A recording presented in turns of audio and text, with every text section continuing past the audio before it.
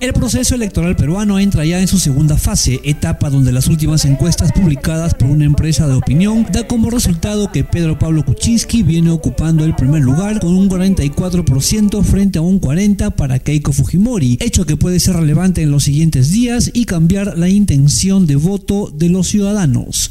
Las encuestas son la fotografía de un momento y en esta circunstancia eh, Peruanos por el Cambio tiene 44% frente a 40% Keiko Fujimori. Eh, esto puede variar en el transcurso de las próximas semanas según cómo cale el mensaje de cada uno de ellos, fundamentalmente en el sur. El sur ha cambiado de las preferencias de Verónica Mendoza hacia PPK.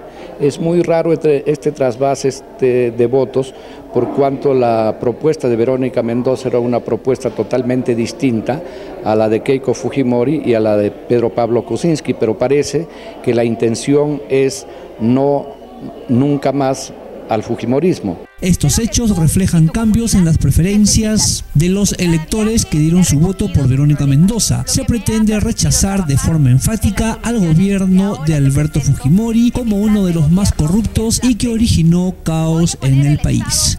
Por eso es que se nota este trasvase de votos.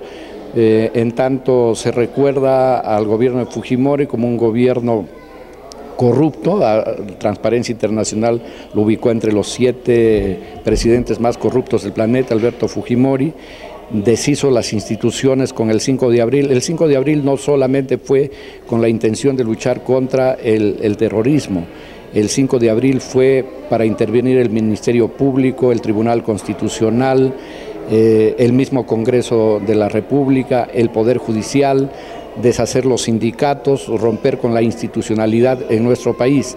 Eso es lo que tiene miedo probablemente la población, la ciudadanía, con un nuevo gobierno del Fujimorismo.